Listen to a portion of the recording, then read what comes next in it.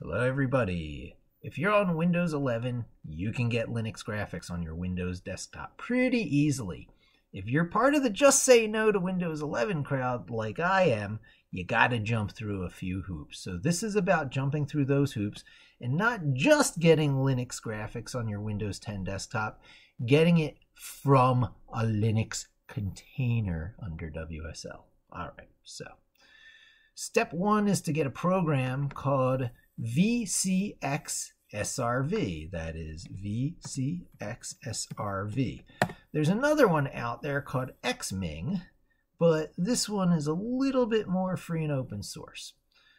It's also one of the great workhorses of this sort of stuff that is not on GitHub yet. It's on SourceForge, which is like ye old GitHub minus the version control and collaboration and with a lot more advertising. But it's a pretty trusted source. This is a highly downloaded product, highly reviewed, and I've used it many times in the past. So you need it. And it's got an installer. It didn't always have an installer, but it is a product that's improving. So you run it, and you run the installer. Got to approve the admins. I am going to uh, leave the start menu shortcuts, but delete the desktop shortcuts, and I'll uh, allow it to install its fonts. Sure, why not? X Windows fonts, it's going to be probably pretty important.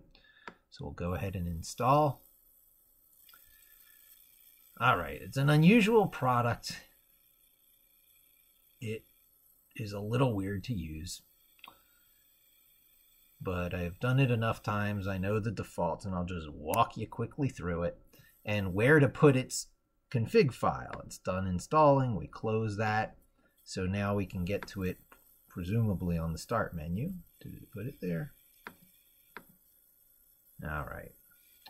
So if it doesn't come up on the start menu, where you find it is you bring up your Windows Explorer, you go into uh, disk computer, your C drive, program files, VCX SRV, there it is. You're going to find two executables in there. You don't want that first one, the actual VCX SRV. You want the second one called Xlaunch. Xlaunch is a wizard. It'll walk you through a configuration process, okay? So on this configuration process, some of these options are actually pretty important. You want it on multiple windows. You see this is how it integrates with Windows, and we want Linux software just coming up each app in its own separate window. And then this is the really important one. It says display number and it's set to negative one. That has to become zero. And then next, start with no client. That's the default. That's good. Uh, native OpenGL. It says if you use native OpenGL, you want libgl always indirect environment variable set to one. They don't say that, but it should be set to one. We'll cover that in a moment. But we're basically taking the default. So we hit next. Oh, one thing back here, additional parameters. Just to be sure, I put minus AC. That's for allow all connections, additional parameters. So the hyphen A and C, allow all connections. Okay, and then next. And this, this is where you save configuration. I'm going to save it to the desktop initially, but there's an extra trick to make it run on the restart of your, of your system all the time. So I'll save configuration.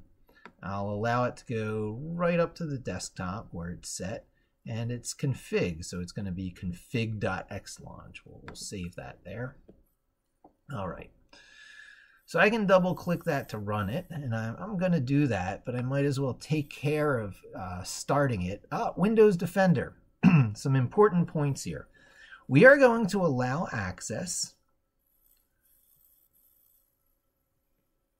allow VCX SRV Windows Server to communicate with these networks, private networks. Okay, that you would hope that that's the one that would magically make everything work, but it's not. We're to have one more firewall rule to deal with.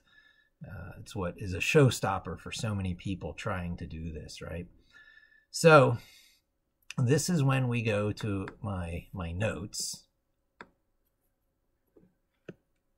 Make it big. And um, So I point out that this process I'm showing you, anyone can show you these days how to get Linux graphics under WSL. People have been doing this trick for a few years now. But only I'll show you how to get Linux graphics on Windows under Linux containers. This is an exclusive from me, I believe, as far as I've been able to see.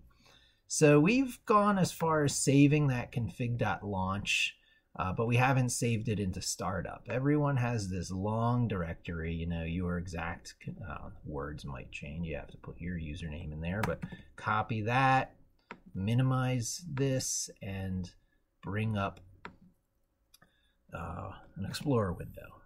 Now we just outright paste that into our Explorer window, and it drops us into our startup location. You see that? It actually worked. You know, it worked because it took the address and it's showing it there. This goes in here. We haven't even run it yet, but now it will actually run. Oh, so I it it did run. Okay, well that's good. So um, on restarts, it will run because it's now located here.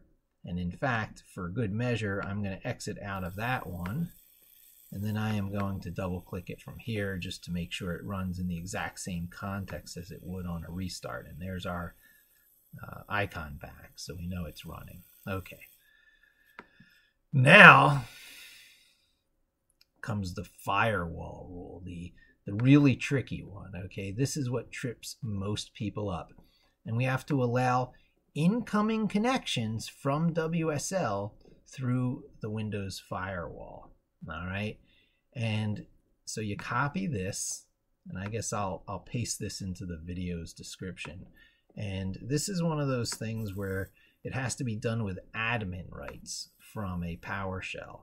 So we're going to bring up a PowerShell with run as administrator. All right. You paste that command in. in fact, I might hold off on this because I need to do a before and after to show you this taking effect, right?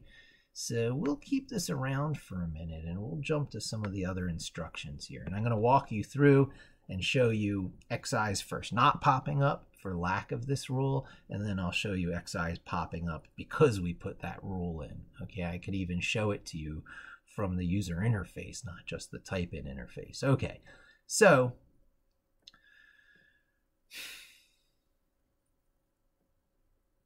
This is the magic line. Whenever you research this on the internet, this is the one you're going to find, right?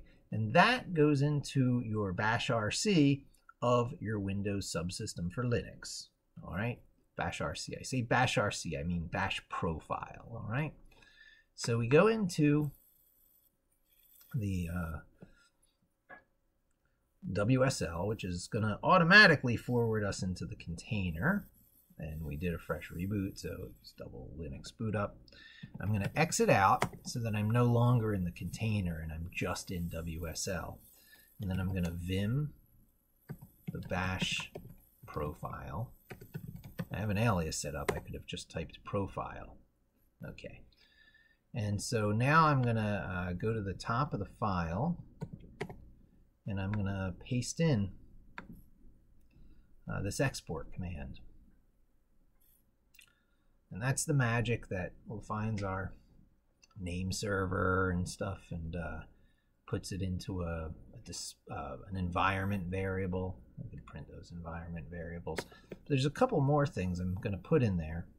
This one here exports the data from that line above. See, it recycles the uh, variable that we're using and it copies it to my cloud drive location, right? So if you're following along and you want to make containers have Linux graphics, you're going to have to make sure that you've got a drive that's mapped and accessible from both WSL and containers hosted by WSL. All right. Put that there. And then this last piece is the one that it said if you're using OpenGL, include this because it gives you faster graphics performance. So we put that in for faster graphics performance. These are the three magic things now. Only two of them are actually required to make it work from WSL. In fact, this will make it work from WSL. This is discretionary and improves graphics performance, and this is discretionary and allows containers to have access to the information that uh, the parent uh, Linux has.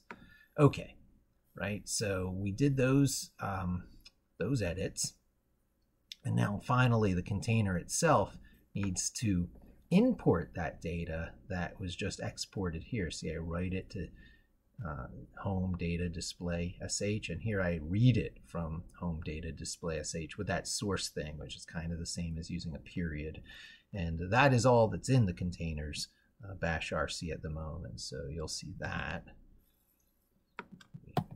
we will uh, right quit go back into drummers that's an alias for a long command that you know does the lxc command for uh, logging into this LXC container.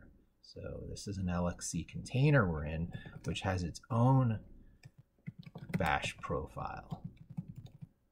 All right, and all it has is, uh, you know, a couple of uh, imports of uh, commands and an export of a uh, display var a variable for screen RC. Well, anyway, we now do one more uh, source, running it through a uh, file in order to get that variable, write and quit.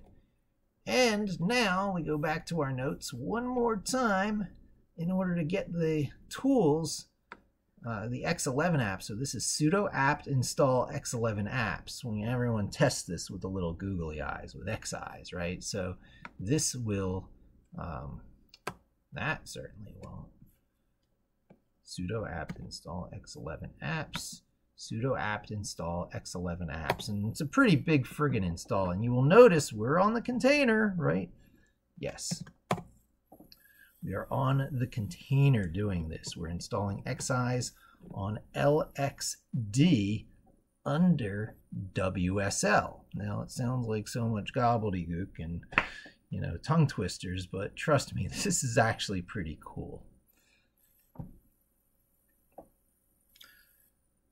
All right, so the X stuff is pretty much uh, installed now. And the uh, anticlimactic moment is when you make sure you're not covering over the X eyes when they pop up, because that happens a lot. Clear and X eyes.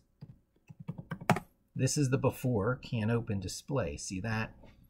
Um, well, anyway, yeah, it actually needs to exit. Uh, its stuff hasn't run. We have to exit both of them. Control Shift W. I need to go back entirely because this is Bash profile stuff. So the display exports don't happen until you uh, relog in. Again, we get it out of the way and we try Xeyes. I, I knew it was wrong because of how fast the error came back when it's trying to get through uh, DisplayPort 0, which is what's happening here uh, from like WSL side stuff, trying to reach over to uh, the X server here. This is being blocked, right? What's happening now is this can't be reached from this. Right? You get that? and it would time out. So while we're waiting for the timeout, I'm going to bring up that PowerShell again. I'll put it on the same window as where we're operating, and I'll slam it into the lower left corner. And I will go back to my meeting notes. Now pull that firewall rule. Copy. All right, so this will eventually time out, but we don't have to wait. I'll just hit Control C on that. But it clearly didn't work. This, as you'll recall, is PowerShell in administrator mode. That's very important. You can't do firewall rules without being in administrator uh, mode. And uh, I paste it. Ready? Enter. It took it. All right, it scrolled a little bit. You know, it's showing some stuff. And uh, Xeyes. There's our Xeyes, right? You'll not find a demonstration as straightforward and smooth and covering all the nuances of this because I've made these little Xeyes come up and do their little googly routine. many times over the years. If you Google this topic, I'm one of the ones who comes up over and over. So that's the first X Windows trick. We're going to do another X Windows trick just to hit home that this is important and to clear the way for the coming Jupyter install. Okay, so my friend Scott M, a uh, Bell Research Labs uh, ex employee who was where the action was at, almost like issued a challenge. If you can do the following, well, I'm not going to make this accessible to the network here. It's, I'm keeping this local on my machine, but this next step guarantees that Jupyter's little startup routine where some tokens are passed back and forth will will work. How? By having Firefox present. sudo apt install Firefox. Yes. So this is the Linux version of Firefox I'm installing on Windows, on the Windows subsystem for Linux, on a Linux container hosted under the Windows subsystem for Linux. So you're about to see Firefox served from a Linux container running under WSL. Now this can be done with like Docker desktop and stuff. People might be like ho hum, you know, old news.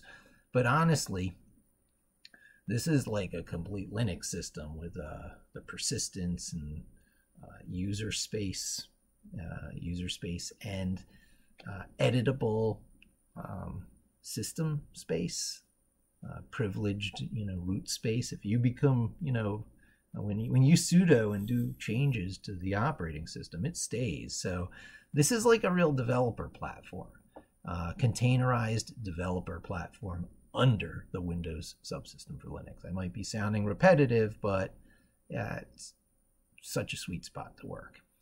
And some people might say, um, why not just uh, be on, on Linux going through all this trouble? Well, the answer is the you know integrated platform. I'm on a nice laptop. It's gonna run all my Linux stuff side by side with the Windows stuff, the world's most popular desktop with the world's most popular server software, all blended together and letting me do my thing.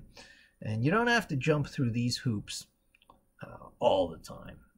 You just have to jump through these hoops when you're setting up your tooling, right? A lot of the stuff I'm doing right now is about tooling, right? So we all go through a little bit of tooling pains to get things just so.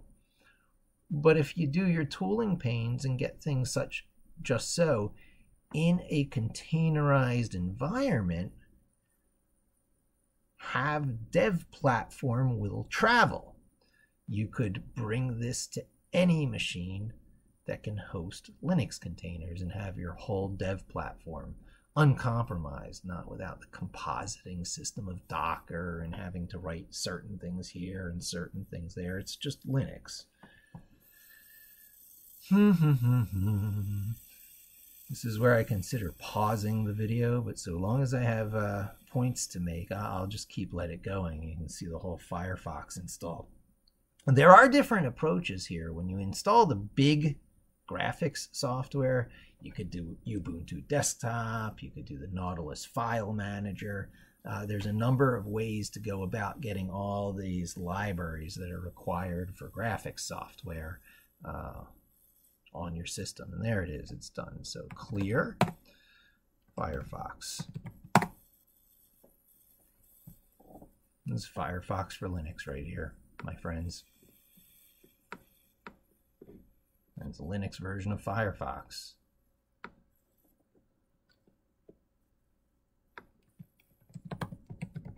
Whoops. oh, it knew what I wanted. It did a Google search. All right.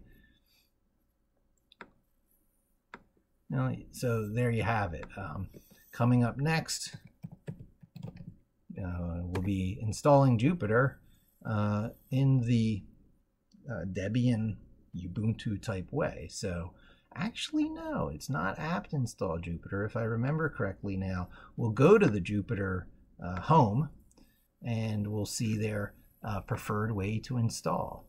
Try, install, and uh, there it is pip install Jupyter Lab. That's what we're going to be doing. We're going to pip install uh, Jupyter Lab. Let's see what the options are. Python index. Should we do it here? Should we just go for broke, right? Yes, you say? Make it part of this video? No, it's going to be a next video. I'm going to bank my wins. This was a pretty amazing video. um, yeah, yeah, super pumped about that. Linux graphics on the desktop of Windows 10 uh, from a LXD container. So once again, make sure you understand when I do that, that's not Windows Subsystem for Linux directly. It is indirectly that, but it is having run LXD containers, which you can tell by looking at my bash RC, my bash profile, because the first thing it does when it uh, logs into Windows Subsystem for Linux, not the first thing it does, like the last thing it does, is it subsequently logs into an instance of a container. All right. That container is called drummers. And from drummers, we can run Xeyes. Or Firefox. Ta-da! And this will be useful in getting Jupyter running properly as a server Linux side because this will allow some magic token passing that it does to occur and uh, get our Windows side access of Jupyter uh, nice and smoothed out for Scott M. I do a little bit of hocus pocus. Not exactly what he asked for, uh, but in my book, this really uh, hits it on the spot. So Thanks for joining me. Hope to see you again soon. And don't forget to subscribe.